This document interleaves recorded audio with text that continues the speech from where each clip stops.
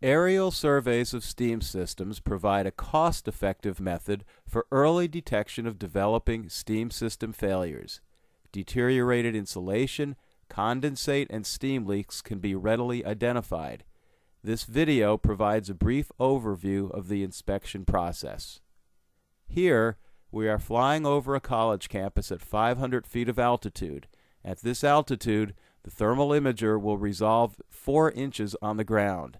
The image in each video frame covers an area of 212 by 159 feet. The infrared imager captures all thermal data between negative 40 and 248 degrees Fahrenheit. In this video, we show a temperature range of 20 to 48 degrees Fahrenheit. Black is cold, white is hot.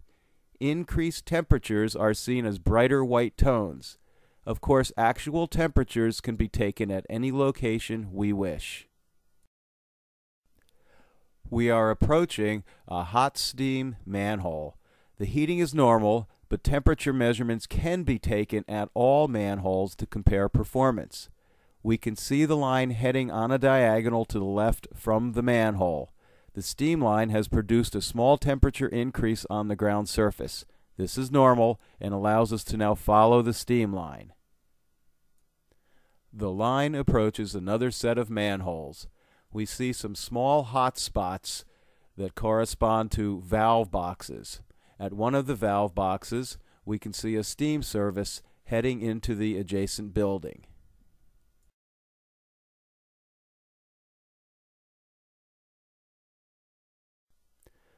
The line then passes beneath a grassy area and becomes difficult to discern. This is normal and illustrates how surface conditions will impact radiant heat transfer and the apparent surface temperatures that are measured by the infrared camera. Surface condition changes can readily produce hot and cold spots and must be considered when evaluating steamline performance. The line next enters a large steam vault. One line exits to the right. Its temperature signature on the surface is barely discernible. The other line continues out the opposite side of the vault. As we continue to observe the main steam line, we see sharply higher surface temperatures over the entire length of the final line segment. The elevated and uneven temperatures suggest possible deteriorated insulation. Such deterioration could be due to a steam or condensate leak condensate leak is more likely due to the relatively low level of surface heating. However, the elevated temperatures could also be the result of shallower line depth. This will be considered during subsequent evaluation. A hotspot is present where the line enters a building. The hotspot is actually from a building vent fan and not related to steam line performance. Now, let's take a look at some still infrared images produced from the recorded video after the flight. These images will be used to gain some further insight into this suspected problem. Here is a black and white still infrared image of the suspected problem area. The main line that passes through the vault is 8-inch Ricwil. The line exiting the vault to the right is 4-inch direct buried. Typical ground temperature is measured to be 32.5 degrees Fahrenheit. The surface temperature of the main line before the vault is 33.4 degrees Fahrenheit, a less than 1 degree Fahrenheit rise above adjacent ground surface.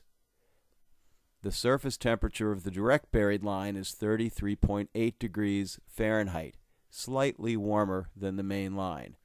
Assuming consistent depth surface conditions and line construction, we would expect surface temperatures over the steam line to increase no more than a couple of degrees Fahrenheit if the line is performing properly. Now, look at the line temperature at the upper left of the image. This is the hottest spot along the final line segment. The surface temperature is 44.5 degrees Fahrenheit. 12 degrees Fahrenheit above typical ground temperature.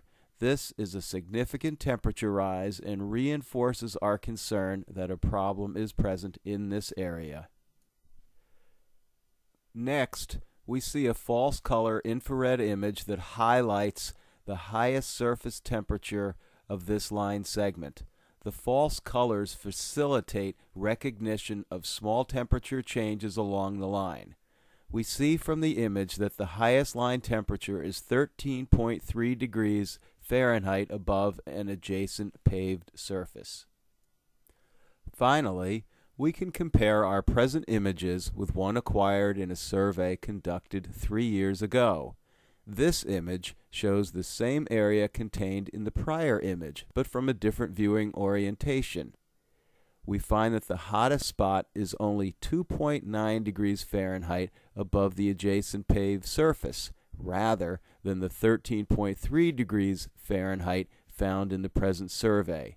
From this comparison, we can conclude that deterioration has, in fact, occurred along this line segment and a leak is likely. Thank you for watching this video. We are confident that our aerial infrared survey service will become an integral part of your system reliability, maintenance, and planning process. We look forward to hearing from you. Call us today to learn how we can help you maximize your STEAM system performance.